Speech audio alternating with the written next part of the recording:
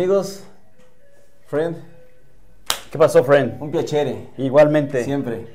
¿Cómo estás? ¿Cómo están amigos? Qué gusto verles a todos, donde quiera que nos vean. Un gusto. Así es. Oye, pues hoy traemos un tema interesante, como varios que hemos hecho a lo largo de este año. Hemos tocado, creo, en cuanto a padecimientos, eh, pues digamos los más relevantes, ¿no? Estamos hablando de hipertensión, estamos hablando tal vez de diabetes, este, cáncer, ¿no? Y claro que en cáncer, pues tenemos algunas variantes ahí, que es el tema de hoy. ¿no? Exacto. Fíjate, es, es un tema que vale la pena que volvamos a tomar. Ya lo habíamos en algún momento a través de los blogs que hacemos, lo habíamos comentado. Pero la verdad es que vale la pena. Queremos hablar sobre un poco sobre el cáncer de próstata, amigos. Eh, como ustedes saben, hay un día mundial donde, en, valga la redundancia, en todo el mundo se, se hacen conferencias, se, se publican estudios. Este es el 11 de junio a nivel mundial, ¿no? Pero en México en particular, hoy, 29 de noviembre, es el día de la lucha contra el cáncer de próstata, ¿no? Entonces, hoy vale la pena que lo podamos todos eh, considerar un poco, no solamente los hombres, pero también las mujeres, ¿no? Tendrán un esposo, tendrán un papá, tendrán un hermano, tendrán algo que vale la pena, ¿no? Algo que tenga que ver con Algo la que próstata. tenga que ver con la próstata, exactamente, ¿no?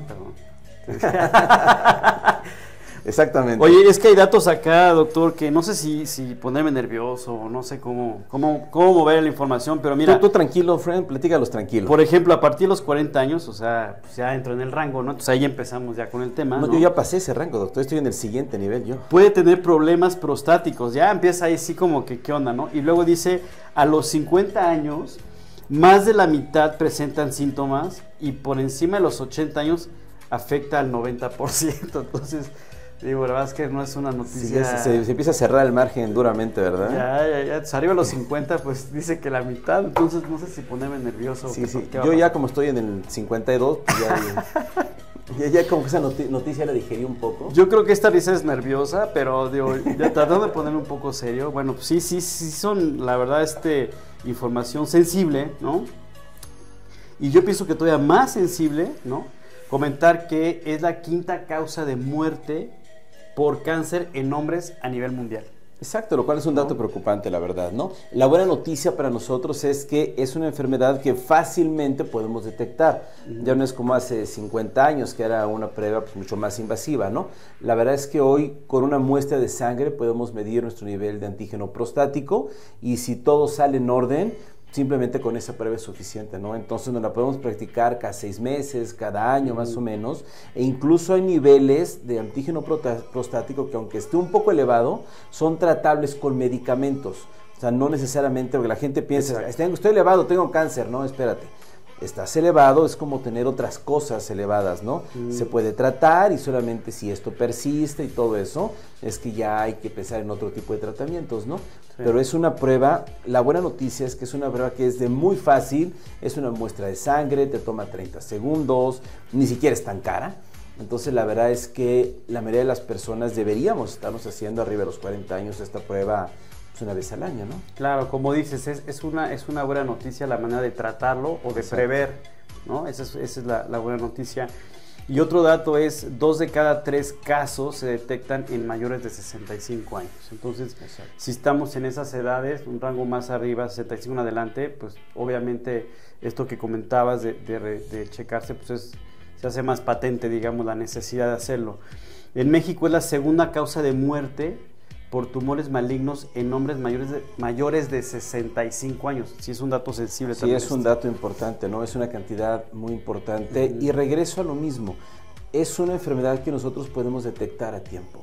Hay enfermedades que es más complicado porque no tienen sintomatología, por ejemplo, ¿no? Entonces, cuando ya empezamos a tener síntomas, normalmente ya es tarde, ya vamos atrasados, ¿no? En el caso de, de una próstata, nosotros podemos empezar a tener los primeros síntomas desde que empieza a inflamarse. Esta es la buena noticia, insisto, la buena noticia no es que estemos enfermos. La buena noticia es que lo podemos detectar a tiempo Sí. y hacer algo rápido antes de que deriven a algo mucho más grave, ¿no? Entonces, por eso es importante, y, y perdón que regrese, la detección temprana, el prestar atención a síntomas, de si algo no está sucediendo normal, de si empiezo a notar. Ahorita vamos a mencionar algunos síntomas que podemos tomar en cuenta pero, pero esta es la buena noticia, insisto, ¿no? Sí. Porque es una mala noticia que haya un número tan importante de gente que fallece por algo que se puede detectar. Sí, la palabra clave que acabas de comentar es, es la prevención. Creo que esa es la Exacto. palabra clave, prever. Y ahorita que comentabas esto, pues bueno, para prevenirlo hay que evitar comer alimentos ¿no? altos en grasa, Exacto. hay Que- que evitar el alcohol.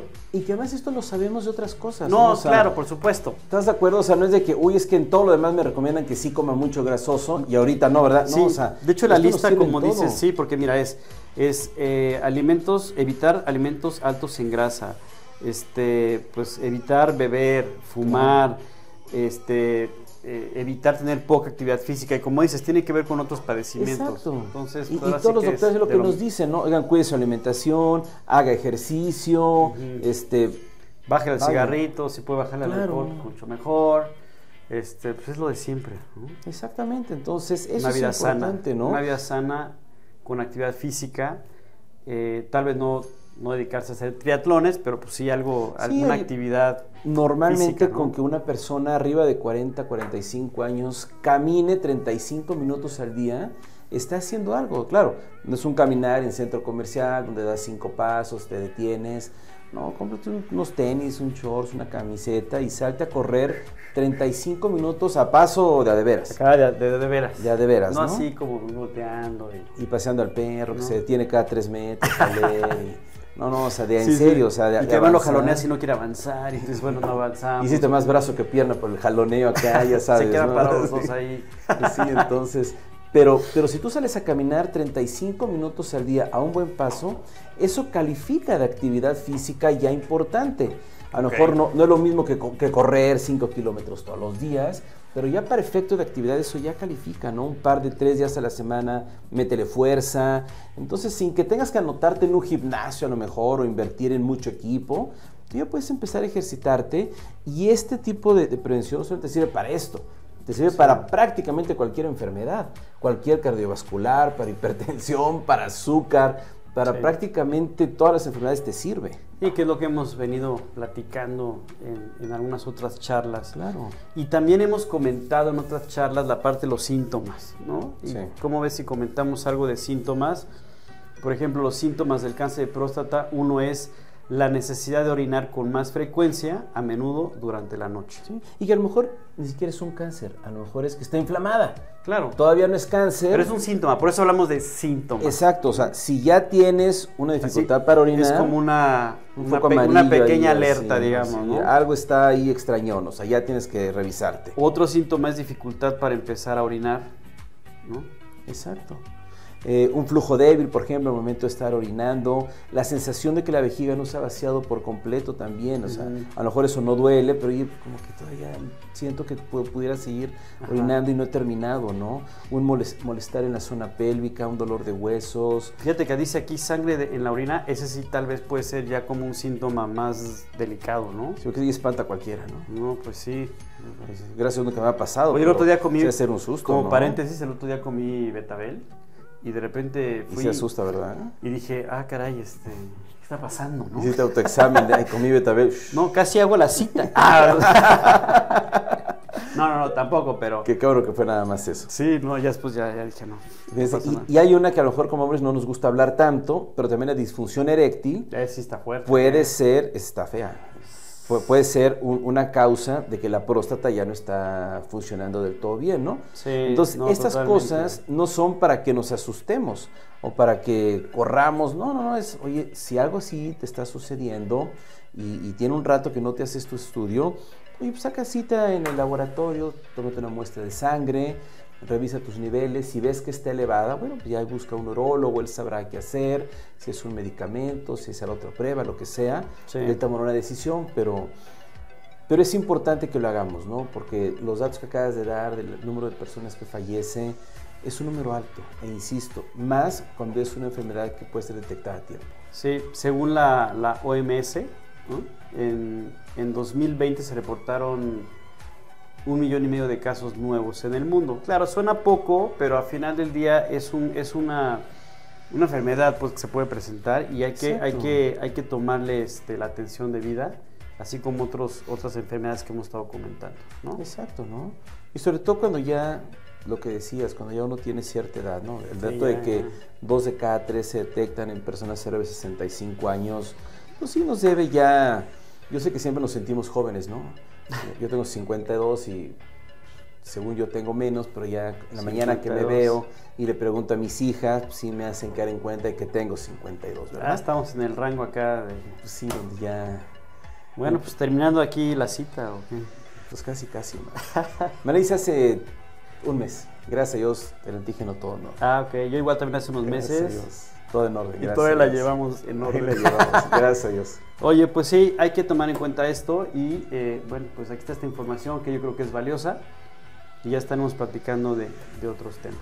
Claro, y como toda enfermedad puede ser, si esto ya deriva en cosas mayores, puede ser caro. Eh, la buena noticia es que si tienes una póliza de gastos médicos, lo cubre. Entonces, Es si no la tienes, por favor, busca un asesor. Si no tienes uno, búscanos a nosotros como EXE para que te asignemos uno inmediatamente, porque esto, la verdad es que está cubierto y siempre es mejor enfrentar este tipo de situaciones si se presentan con un seguro a presentarlas sin un seguro. ¿no? Sí, Siempre va a ser toda la diferencia. Definitivamente. Entonces, hagamos caso de esto, amigos, por favor. Richard, pues hasta la próxima. Friend, un gusto siempre. Igualmente. Amigos, un gusto. Que estén bien. Saludos. Hasta luego.